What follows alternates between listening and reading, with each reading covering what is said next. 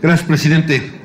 Vengo a presentar una iniciativa que tiene como motor, como valor fundamental, la dignidad humana. Es un tema controversial.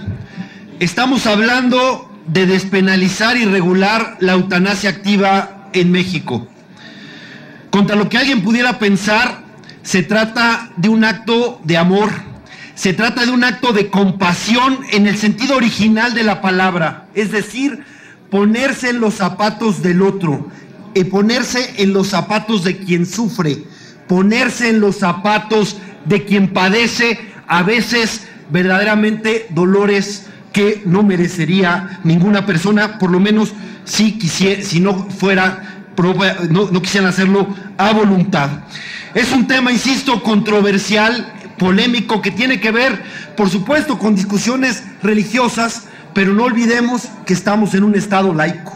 Según mi interpretación, esta, esta iniciativa de, eutanasia, de, regular la eutanasia activa se desprende de una correcta lectura de la Constitución mexicana y, y cómo se los pienso demostrar. ¿De quién es la vida? ¿De aquel que la experimenta o de un ser superior que nos la otorga? Obviamente no nos vamos a poner de acuerdo discutiendo esta intensa discusión, esta intensa discusión que se hace en filosofía, en teología, etcétera. No nos vamos a poner de acuerdo. Pero la Constitución establece una forma para resolver este tipo de dilemas. Porque si la vida humana es de aquel que la experimenta, no hay discusión.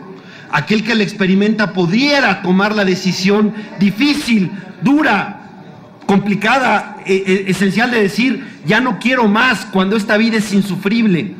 Tendría esa posibilidad. Si alguien eh, piensa lo contrario, que es por supuesto una raíz religiosa, en donde la vida no, no le pertenece a quien la experimenta, pues pensará de otra manera.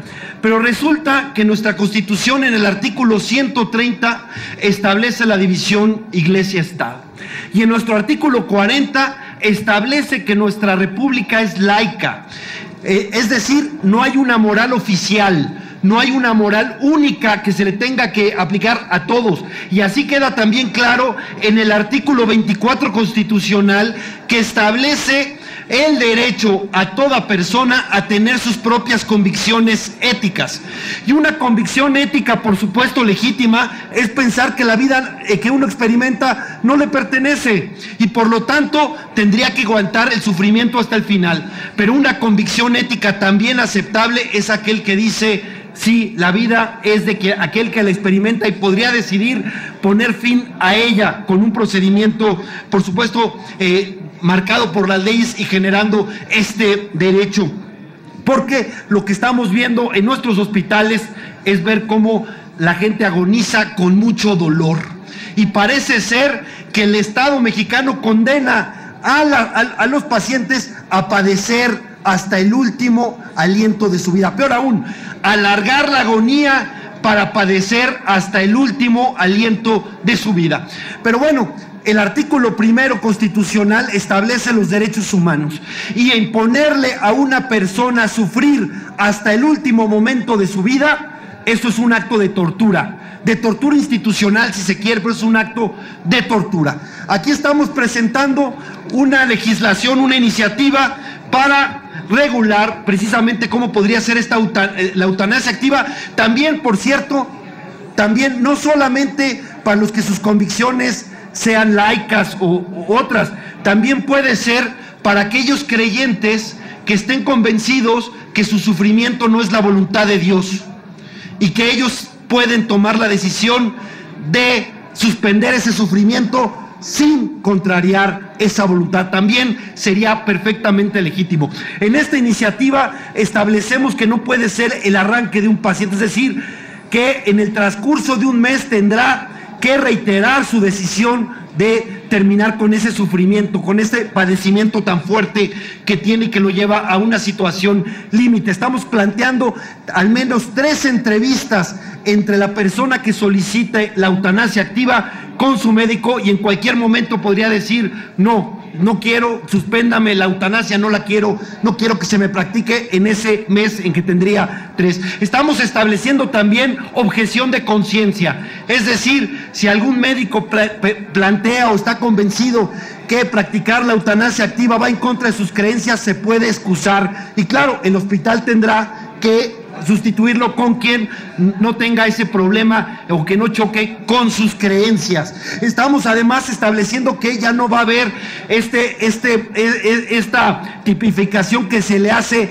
y se le llama homicidio por piedad que es, eh, que es donde está penalizada la eutanasia. Y este es un problema que tiene que ver con una iniciativa anterior, el de la regulación de la, del cultivo de amapola legal para fines médicos, para la industria farmacéutica, para la, para la morfina, porque, insisto, nuestros pacientes en México, gran cantidad de ellos tienen agonías con dolores tremendas, terribles agonías. Y sus familiares ven cómo están. E imagínense, los pocos afortunados que tienen acceso a la morfina ven a sus pacientes dormidos, noqueados, sin dolor, pero sin conciencia. Y los que no, la inmensa mayoría de los pacientes tienen que estar con sus, con sus familiares, verlos cómo padecen y sufren. Y muchos de esos pacientes dicen, esta ya no es una forma digna de vivir. Esta vida ya no es digna para mí, no me quiero ver en esa situación. Y sin embargo, el Estado mexicano los condena a alargar su agonía en esas condiciones infrahumanas,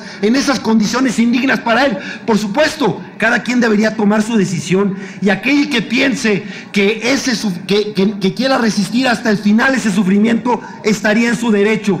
Pero aquel que quisiera decir y poner fila a esa agonía con dolor para respirar, de él y a lo mejor también de sus familiares que tienen esa impotencia de verlo sufrir de esa manera, encontremos una salida profundamente humanitaria.